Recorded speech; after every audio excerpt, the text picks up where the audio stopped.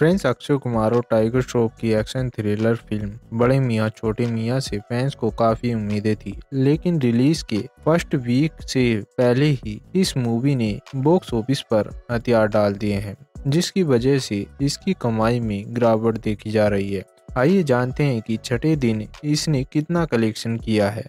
French director Ali Abbas Zafar ने हाल ही में फ़िल्म बड़े मियाँ, छोटे मियाँ से हिंदी सिनेमा में कम किया है। लेकिन जिस तरह से उनकी ये एक्शन थ्रिलर बॉक्स ऑफ़िस पर प्रदर्शन कर रही है, उससे ये अंदाज़ा लगाया जा रहा है कि ज़फ़र की वापसी उम्मीद के मुताबिक फीकी पड़ गई है। फ्रेंड्स अक्षय कुमार और टाइगर श्रॉफ की बड़े मियाँ, छोटे मियाँ की कमाई में गिरावट हर रोज बढ़ती जा रही है।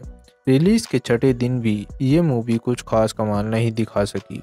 ऐसे में आइए जानते हैं कि मंगलवार को बड़े मियाँ, छोटे मियाँ ने कितने नोट छापे हैं। फ्रेंड्स, ओपनिंग डे के बाद से ऐसा देखा जा रहा है कि बड़े मियाँ, छोटे मियाँ की कमाई का स्तर लगातार गिर रहा है।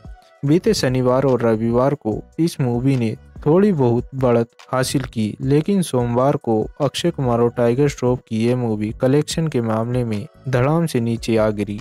फ्रेंड्स मंगलवार को बड़े मियाँ, छोटे मियाँ के बॉक्स ऑफ़िस कलेक्शन में एक बार फिर से कटौती देखने को मिली है। फ्रेंड्स सैकलिन की रिपोर्ट के अनुसार इस मूवी ने रिलीज़ के छठे दिन अनुमानित महज दो करोड़ का कारोबार किया है।